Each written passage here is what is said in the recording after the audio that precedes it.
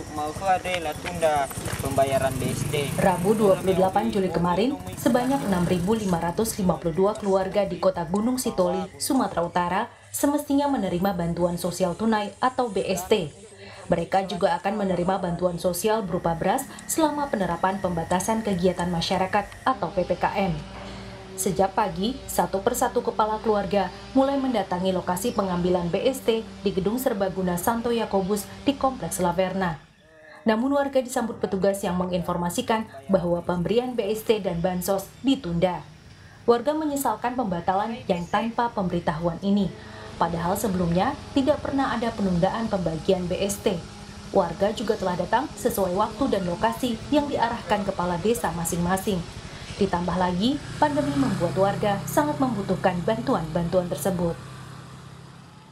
Ya, penundaannya sih nggak tahu, tapi sudah disampaikan di grup bahwa akan eh, dikasih tahu lagi selanjutnya. Karena mungkin karena kondisi COVID-19 ini, makanya ditunda bukan karena apa-apa. Kalau selama ini sih nggak pernah ditunda-tunda, ya tetap berjalan dengan lancar. Ya, ini Bapak sebagai salah satu penerima sangat butuh begitu Pak? Sangat butuh lah. Karena COVID-19 ini kan, ya tahulah kondisinya. Karena apa-apa kan kekurangan, kebutuhan-kebutuhan juga susah. Penundaan ini merupakan arahan dari Satgas COVID-19 Kota Gunung Sitoli yang mengkhawatirkan terjadinya kerumunan saat pembagian BST. PT Pos Indonesia sudah mengantisipasi kekhawatiran ini dengan menyiapkan prosedur dan tata cara pembagian bantuan yang memperhatikan protokol kesehatan. Kami dari keluarga pos meminta maaf untuk kepada masyarakat yang penerima BST. Untuk saat ini ditunda dulu pembayaran BST. Memang pada hari ini dilaksanakan pembayaran BST sebenarnya.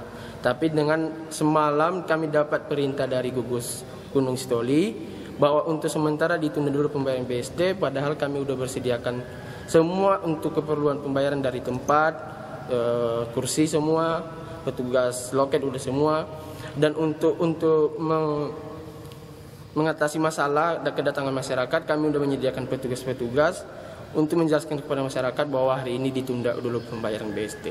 Kira-kira sampai kapan? Belum tentu. Masih belum tentu.